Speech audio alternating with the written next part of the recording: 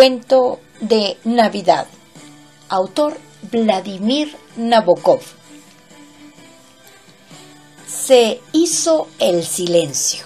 La luz de la lámpara iluminaba despiadadamente el rostro mofletudo del joven Anton Goliche, vestido con la tradicional blusa rusa campesina abotonada a un lado bajo su chaqueta negra, quien, nervioso y sin mirar a nadie, se disponía a recoger del suelo las páginas de su manuscrito que había despertigado aquí y allá mientras leía.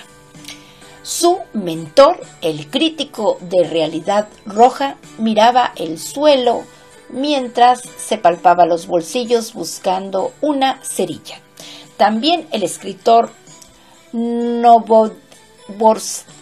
Novobortsev guardaba silencio, pero el suyo era un silencio distinto, venerable.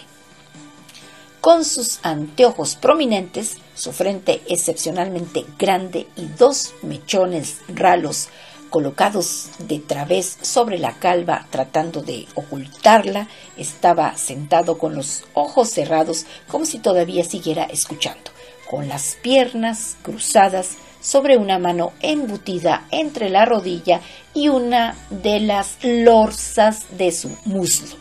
No era la primera vez que se veía sometido a este tipo de sesiones con sedicentes novelistas rústicos, ansiosos y tristes. Y tampoco era la primera vez que había detectado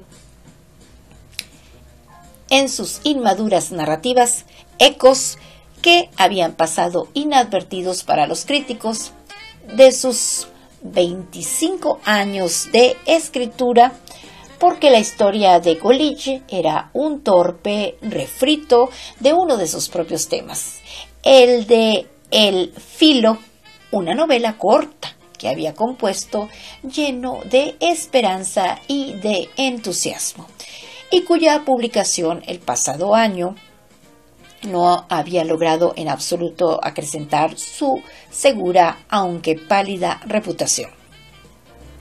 El crítico encendió un cigarrillo. Golich, sin alzar la vista, guardó el manuscrito en su cartera, pero su anfitrión se mantenía en silencio, no porque no supiera cómo enjuiciar el relato, sino porque esperaba, dócil y también aburrido, que el crítico finalmente se decidiera a pronunciar las frases que él, Novobortsev, no se atrevía ni siquiera a insinuar, que el argumento era un tema de Novobortsev, que también procedía de Novobortsev, la imagen aquella del personaje principal, un tipo taciturno dedicado en cuerpo y alma a su padre.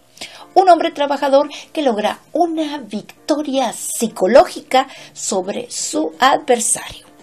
El despreciable intelectual, no tanto en razón de su educación, sino gracias a una especie de serena fuerza interior pero el crítico encorvado en el sillón de cuero como un gran pájaro melancólico se empecinaba desesperadamente en su silencio.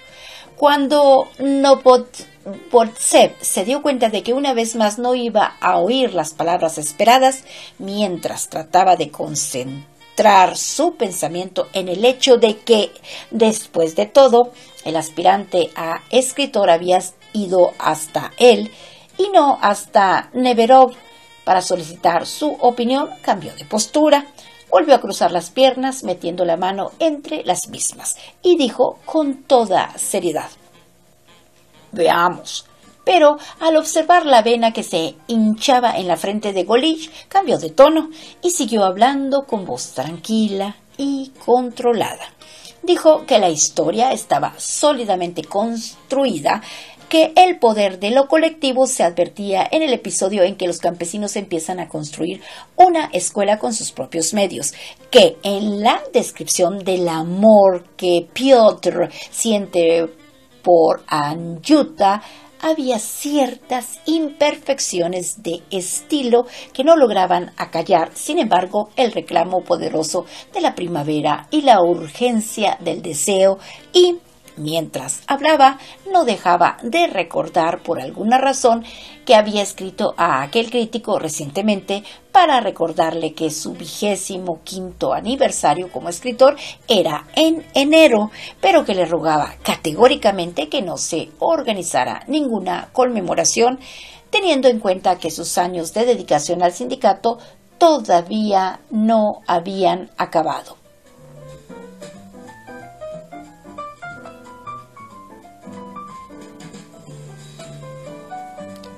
En cuanto al tipo de intelectual que has creado, no acaba de ser convincente. Decía, no logras transmitir la sensación de que está condenado. El crítico seguía sin decir nada. Era un hombre pelirrojo, enjuto y decrépito, del que se decía que estaba tuberculoso, pero que probablemente probablemente era más fuerte que un toro. Le había contestado también por carta que aprobaba la decisión de Novobortsev y allí se había acabado el asunto. Debía de haber traído a Golich como compensación secreta.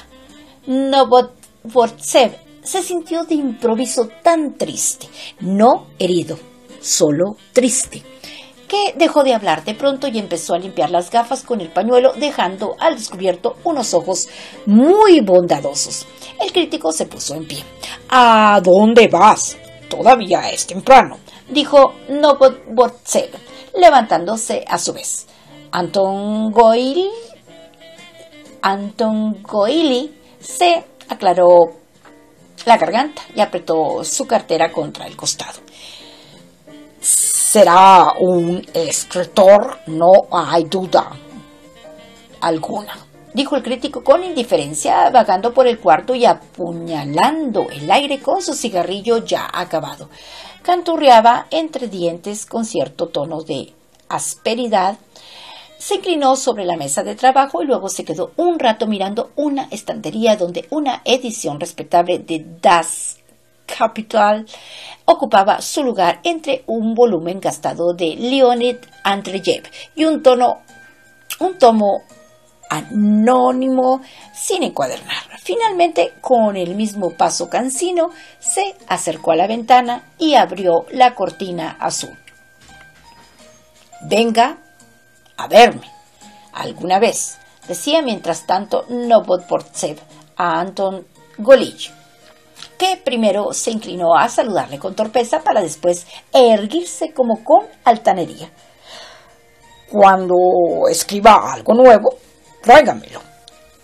Una buena nevada, dijo el crítico, dejando caer la cortina. Por cierto, hoy es Nochebuena. Y se puso a buscar distraído su sombrero y su abrigo. En los viejos tiempos, al llegar a estas fechas, tú y tus colegas hubieran estado produciendo a marchas forzadas manuscritos navideños. Yo no, dijo Novobortsev.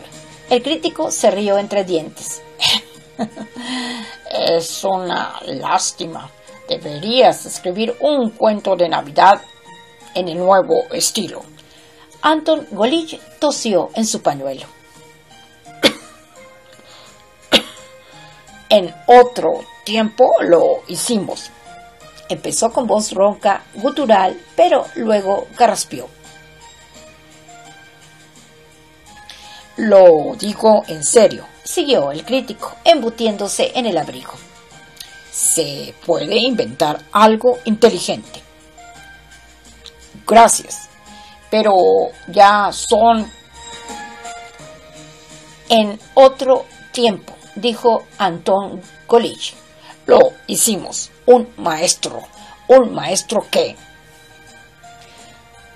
se le metió en la cabeza hacer un árbol de Navidad para los niños. En la cima colocó una estrella roja. No, eso no sirve, dijo el crítico es más bien severo para un cuento. Tienes que darle un perfil más sutil. La lucha entre dos mundos diferentes, todo ello contra un fondo nevado. Hay que tener cuidado con los símbolos. En términos generales, dijo sombrío Novoportsev. Tengo un vecino, un hombre muy recto, miembro del partido, militante, activo y sin embargo utiliza expresiones como el Gólgota del proletariado. Cuando sus huéspedes se hubieron ido, se sentó en su mesa y apoyó la cabeza en su gran mano blanca. Junto al tintero había algo que parecía un vaso sencillo y cuadrado con tres plumas hincadas en una especie de caviar de bolas azules. El objeto tenía unos 10 o 15 años. Había sobrevivido todos los tumultos. Mundos enteros habían caído despedazados en torno de él, pero ni una de aquellas bolas de cristal se había roto. Eligió una pluma, dispuso una hoja de papel convenientemente, metió unas cuantas hojas más debajo de la primera para escribir sobre una superficie más blanda. Pero, ¿sobre qué? dijo Novobortsev en voz alta y a continuación con el muslo hizo a un lado la silla y se puso a caminar por la habitación. En su oído izquierdo sentía un zumbido insoportable. El canalla aquel lo dijo con toda la intención, pensó, y como si quisiera seguir los pasos del crítico fue hasta la ventana. Tiene la pretensión de aconsejarme y de avisarme ese tono de mofa. Probablemente piensa que ya he perdido toda originalidad, pues haré un cuento de Navidad. Y entonces él escribirá, estaba yo en su casa una noche y entre una cosa y otra se me ocurrió sugerirle, Dimitri Dimitrievich Deberías escribir la lucha entre el viejo y el nuevo orden en el entorno de un nevado cuento de Navidad. Podrías llevar hasta sus últimas consecuencias el tema que apuntabas de forma tan extraordinaria en El Filo. ¿Recuerdas el sueño de Tumanov? Ese es el tema al que me refiero. Y precisamente aquella noche nació la obra que la ventana daba a un patio, no se veía la luna. No, pensándolo bien, sí que hay una especie de brillo que sale de detrás de aquella chimenea. La leña estaba apilada en el patio, cubierta con una alfombra reluciente de nieve. En una ventana resplandecía la cúpula verde de una lámpara. Alguien trabajaba en su mesa y el abaco relucía como si sus cuentas estuvieran hechas de cristal de colores. De repente, en el más absoluto silencio, unos copos de nieve cayeron del alero del tejado. Luego, de nuevo, un torpor absoluto. Sintió el cosquilleo de vacío que siempre presagiaba el deseo y la urgencia de escribir.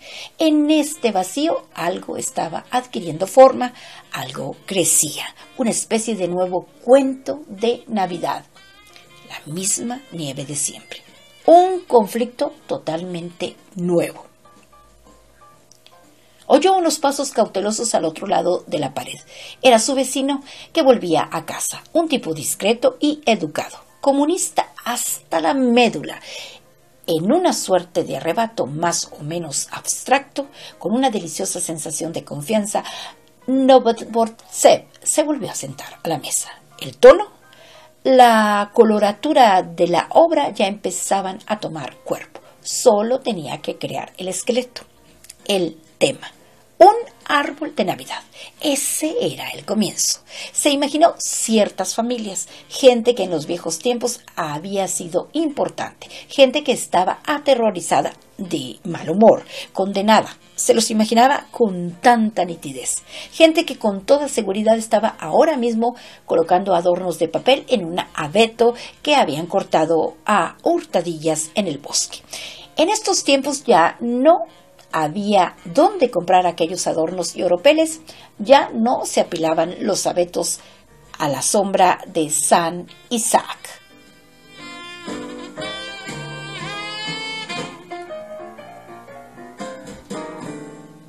Alguien llamó a la puerta. Un golpe amortiguado. Como si hubiera cubierto los nudillos con un trozo de tela. La puerta se abrió unos centímetros delicadamente, sin apenas meter la cabeza. El vecino le dijo ¿Le importaría prestarme una pluma? Si tiene alguna con la punta un poco roma, se lo agradeceré. Novotportsev se la dio. Muchísimas gracias, dijo el vecino, cerrando la puerta silenciosamente. Aquella interrupción insignificante rompió en cierta manera la imagen que estaba madurando en su mente. Se acordó de que en el filo Tumanov sentía cierta nostalgia por la pompa de las antiguas fiestas, pero no buscaba ni quería una mera repetición, y en aquel momento pasó por su mente otro recuerdo inoportuno. Recientemente, en una fiesta, había oído cómo una joven le decía a su marido te pareces mucho a Tumanov en varios aspectos. Durante unos días se sintió feliz, pero luego conoció personalmente a la citada señora y el tal Tumanov resultó ser el novio de su hermana, y tampoco esa había sido su primera desilusión. Un crítico le había dicho que iba a escribir un artículo sobre Tumanovismo. Había algo que le adulaba infinitamente en ese ismo y también en la T con la, con la que la palabra comenzaba en ruso. El crítico, sin embargo, se había ido al Cáucaso a estudiar a los poetas georgianos y, a pesar de todo, no podía negar que Tumanov le había proporcionado ciertos momentos agradables. Por ejemplo, una lista como la siguiente. Gorky, Novodvortsev, Chirikov.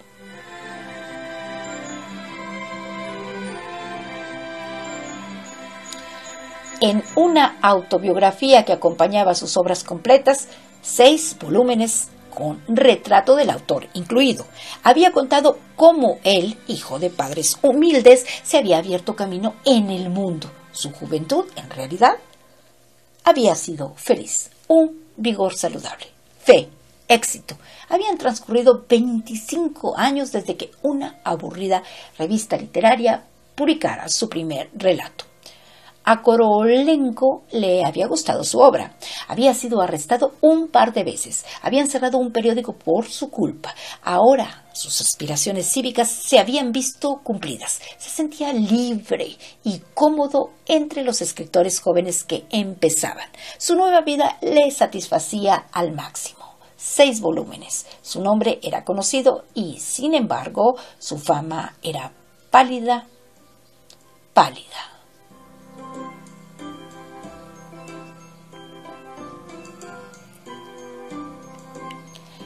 Saltó de nuevo mentalmente hasta la imagen del árbol de Navidad y, bruscamente y sin aparente razón, se acordó del cuarto de estar de la casa de unos comerciantes, de un gran volumen de artículos y poemas con páginas de cantos dorados, una edición benéfica para los pobres, que de alguna forma estaba relacionado con aquella casa.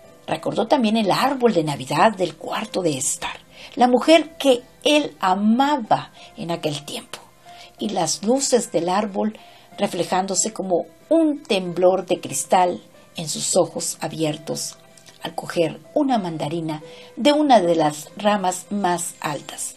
Habían transcurrido 20 años, o quizá más. ¿Cómo se fijaban en la memoria algunos detalles?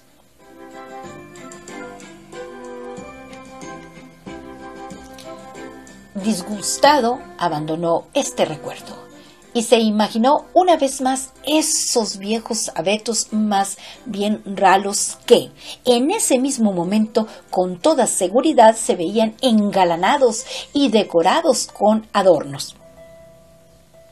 Pero ahí no había ningún relato, aunque siempre se le podía dar un ángulo sutil. Exiliados que lloran en torno de un árbol de Navidad, engalanados con sus uniformes impregnados de polilla, mirando al árbol, sin dejar de llorar. En algún lugar de París, un viejo general rememora al recortar un ángel de cartón dorado cómo solía abofetear a sus soldados.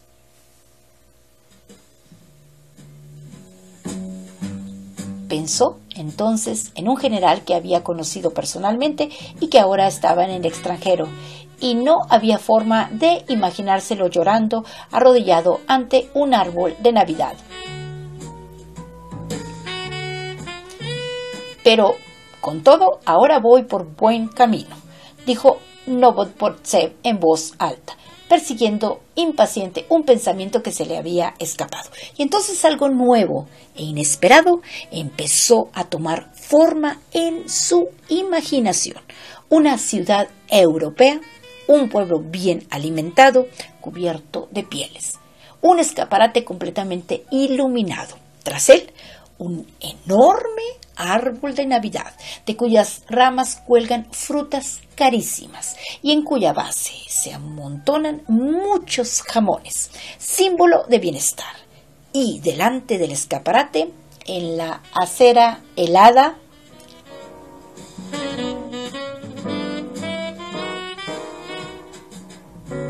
todo nervioso, pero nervioso, con la excitación del triunfo, sintiendo que había encontrado la clave única y necesaria que iba a componer algo exquisito, que iba a, a describir como nadie lo había hecho antes la colisión de dos clases, de dos mundos, empezó a escribir.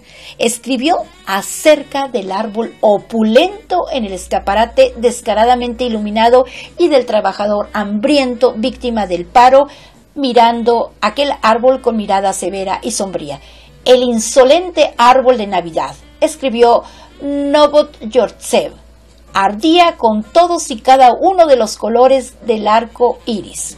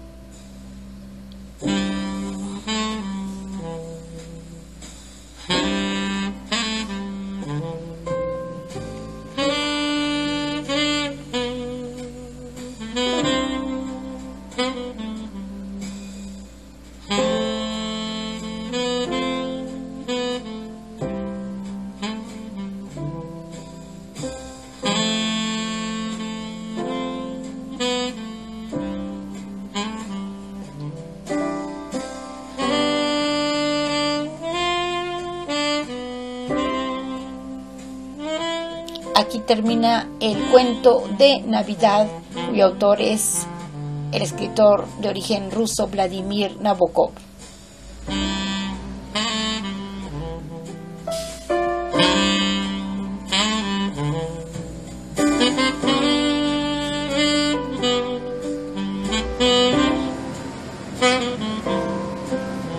Son las 9 de la mañana con 51 minutos. Faltan 9 minutos para las 10 de la mañana y hoy es 16 de diciembre del 2020.